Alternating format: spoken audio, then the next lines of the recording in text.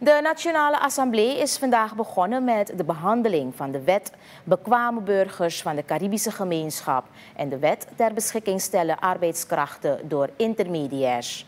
Deze wetten zijn fundamenteel voor bescherming van werknemers in Suriname. VHP-parlementariër Rajinder Kumar Debi zei dat het belangrijk is dat de sancties op peil worden gebracht. De mate van de boete moet volgens hem een gelijke trend aanhouden met de macro-economische ontwikkeling. Deze wetten hebben ten doel om de boetebedragen te brengen op het gewenste niveau. Bij de aanpassing van de geldboetebedragen is zo min mogelijk de oorspronkelijke wijze van formulering van de strafbepalingen gewijzigd, tenzij dringend noodzakelijk. Met deze wijzigingen zijn de boetebedragen gesynchroniseerd met artikel 40 van het wetboek van strafrecht.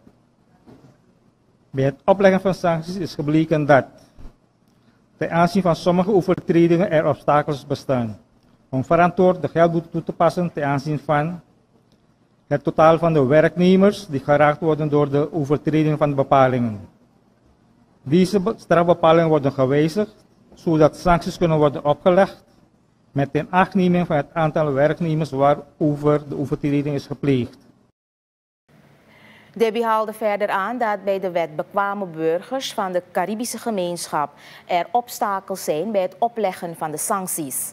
Hij vroeg de minister van Arbeid nader hierop in te gaan en dat effectief wordt opgetreden tegen overtreders. Voorzitter, gaarne zou ik van de minister ook willen weten welke de tekortkomingen zijn bij de naleving van de wetten. Voorzitter, beschikt ministerie, het ministerie over statistieken van hoeveel bekwame burgers er land binnen zijn gekomen en hoeveel Surinamers als bekwame burgers aan andere CARICOM-lidlanden zijn vertrokken in de afgelopen vijf jaren. Voorzitter, gaan zou ook van de minister willen weten hoeveel geregistreerde uitzendbureaus in het land zijn en hoeveel burgers via deze uitzendbureaus zijn ingezet en, en in welke sectoren en hoeveel per sector. Debbie wil dat de minister van Arbeid de statistieken van de afgelopen vijf jaar in DNA presenteert. In het nieuws van morgen komen wij terug op deze DNA-vergadering.